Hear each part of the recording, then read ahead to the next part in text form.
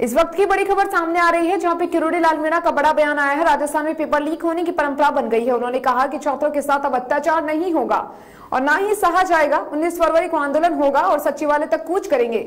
सुनिए बाबा के छात्रों के लिए क्या बयान है।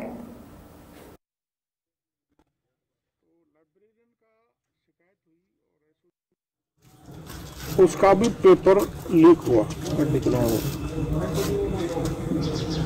जेएंस का हुआ, डिग्री धारियों का हुआ, डिप्लोमा धारियों का हुआ, और एक राजस्थान में परंपरा सी बन गई पेपर लीक करने की तो ऐसा माफिया विकसित हो गया, जो राजस्थान के अच्छे भविष्य बनाने वाले बच्चों, बेरोजगारों के साथ खिलवाड़ कर रही है सरकार। तो लाइब्रेरियन का शिकायत हुई और एसओजी ने उसको सही पाया कि पेपर लीक हुआ है।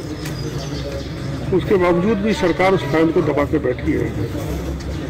तो मैंने निर्णय लिया है कि 19 तारीख को मैं मेरे इस निवासी जो सिद्धार्थ नगर में है, यहाँ से शासन सचिवालय तक पैदल कूच करके जिन बच्चों का पेपर लीक हुआ है और जिसको एसओजी ने सत्य सत्य पाया है वेरीफाई किया है, उसका, उसके लिए पैदल कूच करना है।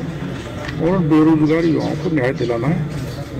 आप जो जो प्रभावित बेरोजगार हैं, उन्नीस तारीख को ग्यारह बजे मेरे मकान पर पधारे।